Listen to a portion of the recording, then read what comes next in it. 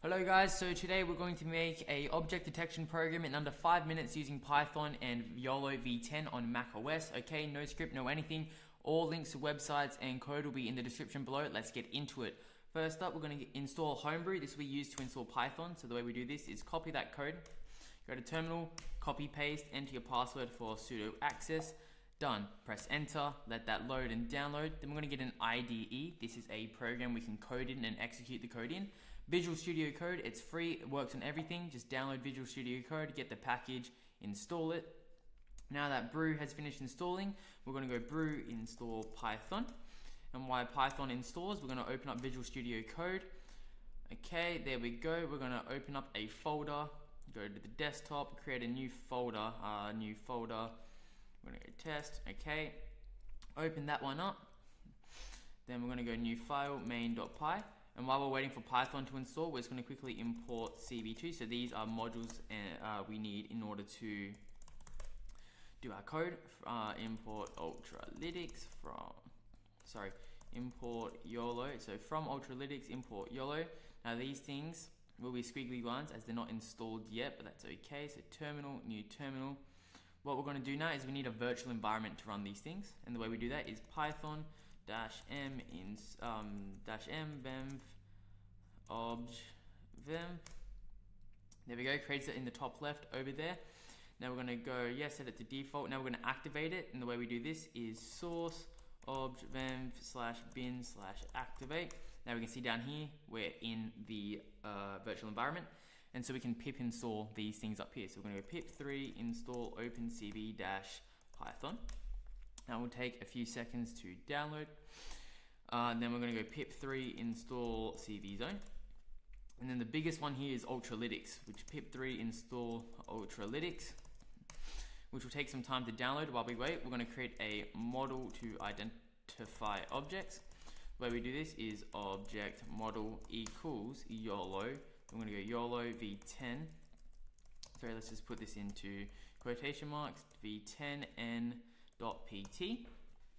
and then we're going to want to get webcam video. And the way we do this is cap equals cv2 dot video capture. Zero is default for macbook. And now we want to create a loop to get frames of live vid. And we're going to do while true.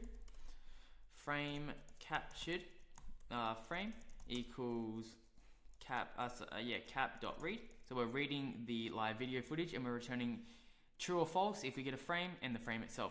So if we don't get a frame, so if not frame captured, we're going to break out of this loop so it doesn't stay running in the background.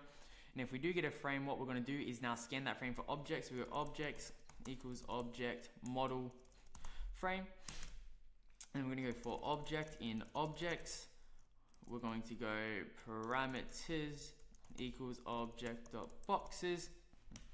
Then for box in parameters, we're going to go x1, y1, x2, y2. So we're getting the top left and the bottom right uh, coordinates of the object equals uh, box dot xy xy 0. Now we're going to make this into an integer, integer so numpy uh, dot as type int. And now we're going to get a rectangle around us. So we're going to do cv2 dot rectangle. We want it on the frame we're capturing. We want it at the top left, starting at the top left, ending at the bottom right. Uh, we want the color to be red, so 50, 50, 255, and we want the thickness to be 3. Do that, Control S. Now if we run the Python file, it will take a second to load everything up. It has to install the YOLO v10 model we've used up there. Oh wait, hold on, we're gonna actually Control C this, this won't work. We need to actually show the frame. So we're gonna get the thing, and then we're gonna use cv2.imshow name the window frame. So it's going to open a new window called frame. Going to display the frame and cv2.wait key. Wait a second before showing the next frame. And so now if we run the Python file, it's going to install everything. It's going to show the frame in a separate window. And it's going to wait one second before it refreshes around. Um, so now we just wait for it to load. It's just the loading game now. Um, so as you can see down here, downloading YOLO v10, done. Up there in the top left, only a one-time download opens up. There we go. We're detecting the human now. Thank you for watching. Hope you guys enjoyed. Now, if you want a more long, detailed uh, video of the process of making this, please let me know in the comments below. Peace out. Bye.